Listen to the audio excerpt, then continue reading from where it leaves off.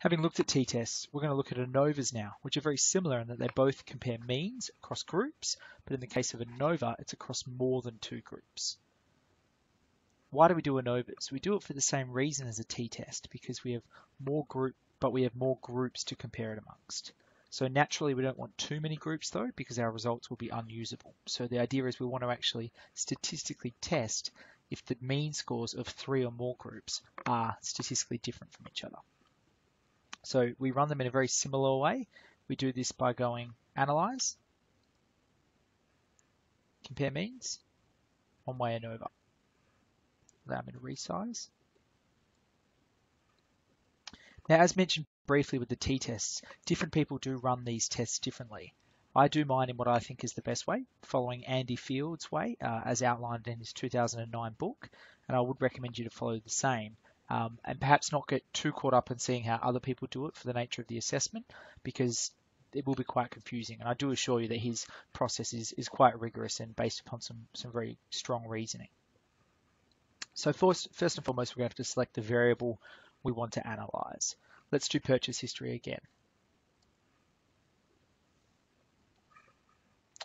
Now, looking at the groups in which we're going to compare this purchase history across, we'll use the age group variable that we previously created.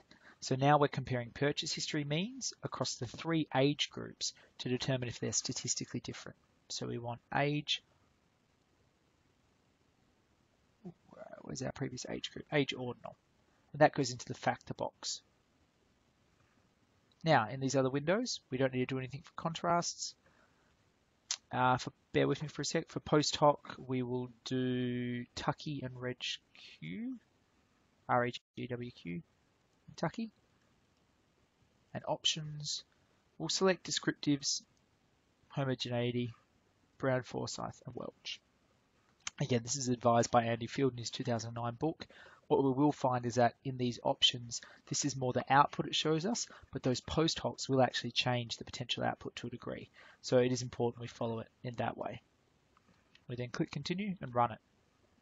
Now descriptives give us those basic descriptives like frequency. So it'll tell us the three groups, group one, two, and three, as we can see at the top. Uh, oops, sorry, no, we don't have the, the name of the group because it's our grouping variable, not the variable name. But we can see how many people belong in each group, the mean for each group, and then obviously a whole bunch of other information. Now, what we can see is that on face value, and these are the three figures we would use if we are creating a graph. On face value, definitely the mean for group one is the largest, but is it substantially different from the others? On face value, perhaps not. Um, however, we do need to look deeper in that in a statistical sense to determine that. So looking at the ANOVA table, we're provided with a significance test, an F-score, and a significance test um, associated with all three of the groups together. So what we can see here is that because this figure is smaller, is not smaller than 0.05, it's 0.420, uh, in this case there is no statistically significant difference between them. However, that views them overall um, amongst all three rather than individual comparisons. So we can say that no, they're not different statistically um, across all three, but if we want to look at individual groups, as in group 1 versus group 2, group 1 versus group 3, we come to our multiple comparisons table. And looking at what we have here, we can see group 1 versus group 2, group 1 versus group 3, um, and all we're looking at is the mean difference here, which is basically the difference between them. If we calculate uh, A minus B, what we see is 0.376, or if we do it the other way, group 2 and group 1, we have B minus A. Um, so that just tells us the difference in the mean, which we could have calculated from up here. Uh, there could be some rounding differences. And what we're looking for is the significance that goes with that mean difference. So this is basically like running a whole bunch of t-tests. So a t-test between this, t-test between 1 and 3, 2 and 3 as well.